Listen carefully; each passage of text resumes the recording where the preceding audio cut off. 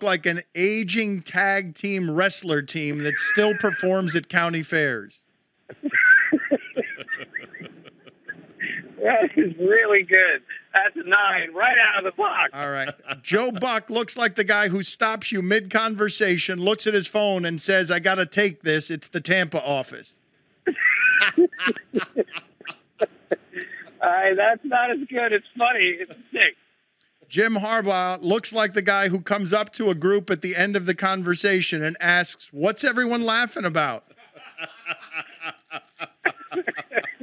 No, he's too cool for that. I'm going to give that a five. Brandon Weeden looks like the guy in the commercial that won thousands of dollars playing DraftKings.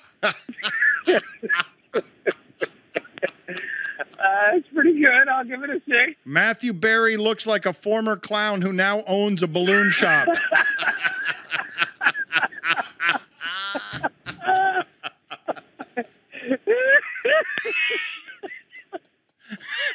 oh, God, yeah. That's a 10. And Doris Burke looks like a psychiatrist who starts each session saying, So let's talk about you.